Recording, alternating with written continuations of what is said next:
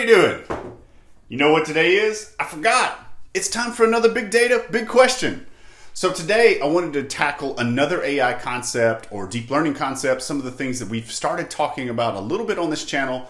Just to, hey, I think these are big, important topics that data engineers and data scientists need to start learning. So whether, you know, whether you're in that role right now, whether it's something you're aspiring to be, or whether you just want to be able to have intelligent conversations, I thought it would be good for me to start sharing some of these topics as I'm learning them so that you can start understanding them because I think these are going to be really big areas of technology for the next two to five years for sure. Um, so it's a it's a huge huge market. There's a huge need for people with skills in deep learning and machine learning, and that, that's only going to grow. So today I'm going to cover a concept called AI winter. And so when I first heard it, I was like, AI winter. I was like, I don't, I don't really understand what this what this topic means, but so I was like, oh, let me let me dig in and let me find out a little bit more about it. So I, I figure if I didn't understand it, that maybe other people that are watching this channel didn't understand it too. So let's kind of walk through and talk about it together. So find out more about AI Winter after this.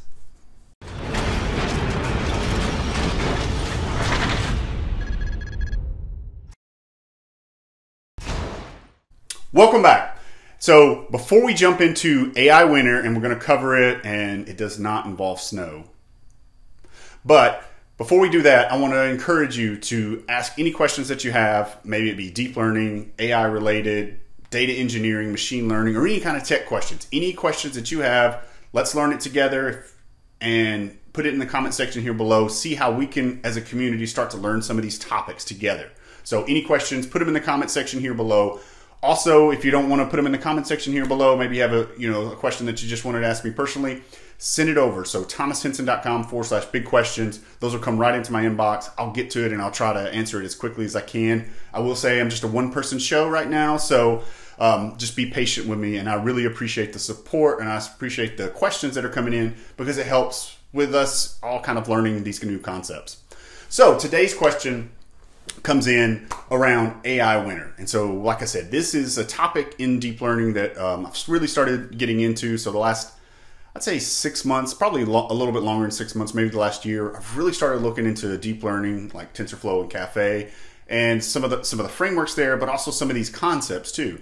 One of the concepts that uh, I kind of struggled with at first, I won't say struggled with, I just didn't understand it, was around AI winter. So AI winter is a concept for okay, AI has been around since, you know, I'd say the at least the early 50s, maybe the 60s.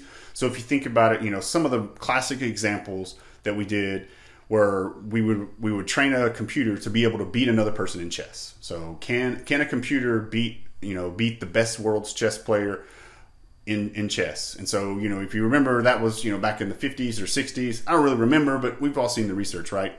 Um, and so we've seen that as a classic example there. But so if AI has been around that long, how come how come you know how come we're not having flying cars? Or if you remember, um, there's a new series on Netflix called Lost in Space. It's actually a reboot.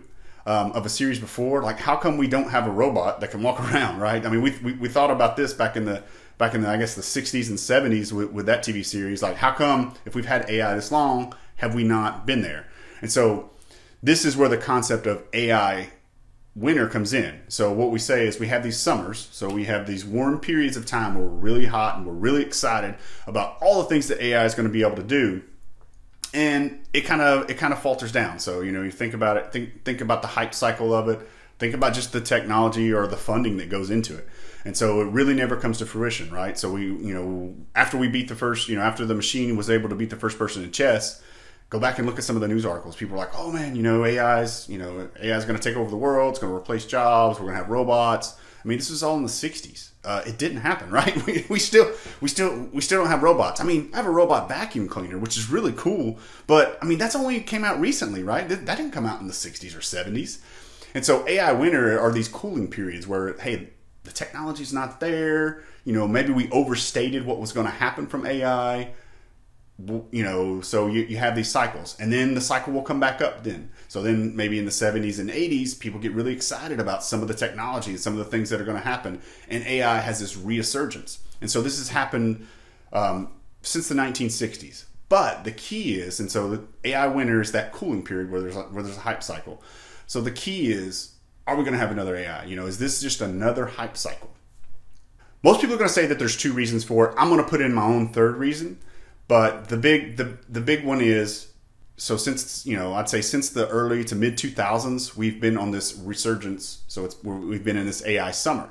I don't believe we're going to have another AI winter. Most analysts don't believe we are either. The two reasons that they think is First off, what do you need to be able to do big data? We talked about it here. What do you need to be able to do deep learning? You need to have lots of data. The more data you have, the more likely you are to have a better model.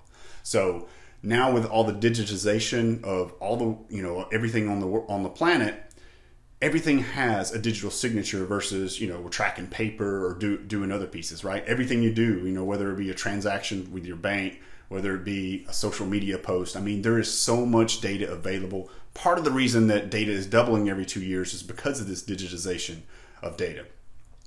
So, deep learning, AI, you know, big data, all the things we talk about, the more data, the more opportunities you have to be successful.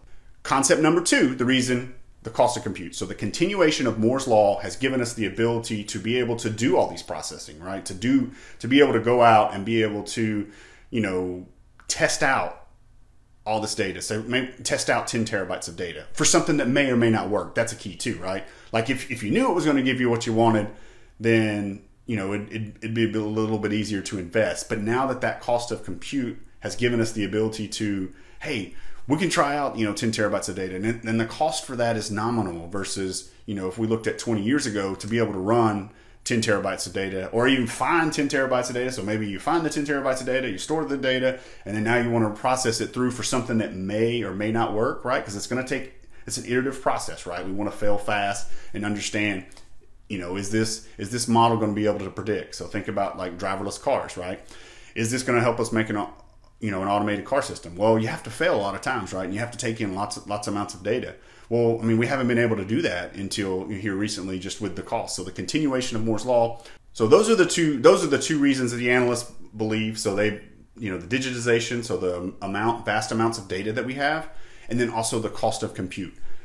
My point, so I think there's a third point, and I believe it's open source software. I believe the world has become, you know, we've continued to build open source projects, and these open source projects are just building upon each other. And I believe that the proliferation of those are helping us all collectively create better algorithms, create better uh, data models, and it's just, I mean, it's it's helping AI be in vogue for. I mean, look at look at just the sheer number of people that are citizen data scientists that you know are, are working on stuff like you know data science projects, you know, Kaggle competitions all on the side, right? I mean, we're, we're, teaching people that don't have a background, maybe don't don't have a for sure don't have a PhD or maybe even a master's degree, or maybe they don't even have a bachelor's degree, or maybe their bachelor's degree was in something that wasn't technology related or math related. Like, there's so many people that are trying, that are doing things out here, and part of the reason is because of open source data. So my key is, I believe. Proliferation of data, so the ability to train these models with amazingly large data sets that scale, the cost of compute, right? The continuation of Moore's law gives us the ability, and then the proliferation of open source projects. So, so many different ways that we can analyze data, and we're all kind of doing it, you know, on the planet together. And, you know, where, you know, I might be working on a project here in Alabama, and then somebody, you know, on the other side of the world is also able to contribute it, contribute to that open source project too. And we're just making better software that gives us the ability to analyze these data sets and make better models. So, that's what AI winter is. That's kind of where we see AI winter not going. Personally, I don't think, you know, I don't think we're going to sunset. I'd like to know what you guys think. So the analysts believe, you know, most of the analysts believe we're not going to we're not going to have a sunset on it. I don't believe we are. Do you folks think that we're going to have another AI winter? Is it going to be is you know are we are we going to sunset on this hype cycle? You know, or am I not going to get my robot? So uh, tell me more in the comment section here below. Make sure you subscribe so you never miss an episode, and I will see you next time on big data, big question.